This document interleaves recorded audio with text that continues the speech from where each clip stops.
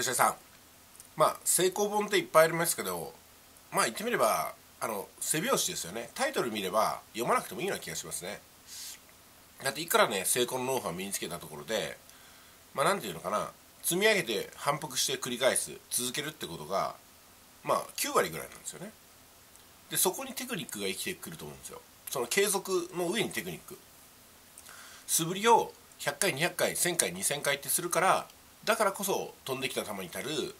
対処法っていうのがやっと役に立つんですよね。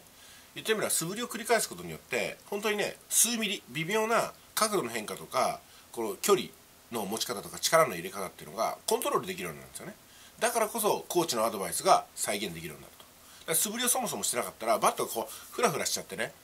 どんな優秀なノウハウを教えたところで再現できないわけですよ。まあだから一定量を繰り返すことはどんなことも必要だなと。その土台を上に、え、テクニックが生きてくるのかなと思いますよね。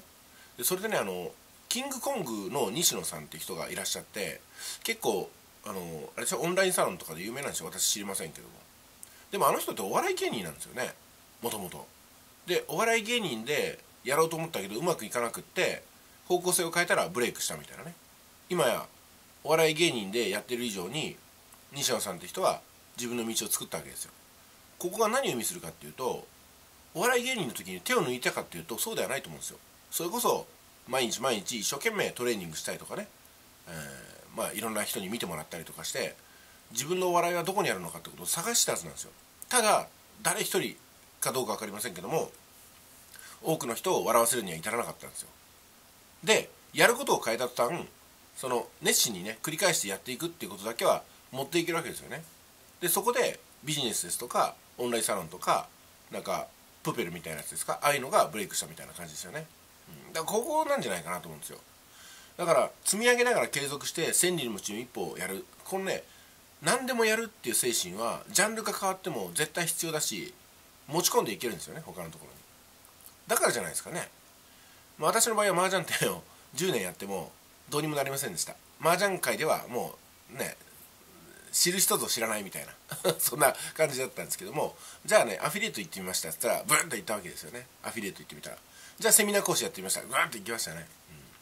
うん、で YouTube やってみました。それ YouTube の再生数が上がったわけですよ。YouTube の運営実績っていうのはもう結局ね麻雀店何年やるよりも先にしちゃったわけですよ。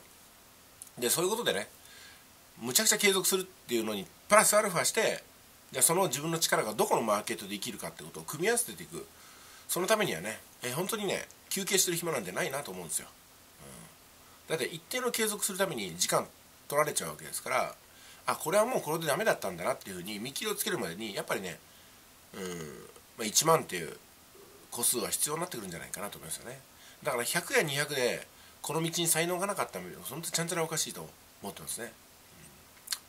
ということでねキングコング西野さんについて私初めて話したような気がします。でも実際にキングコング西野さんのことは全く知りませんので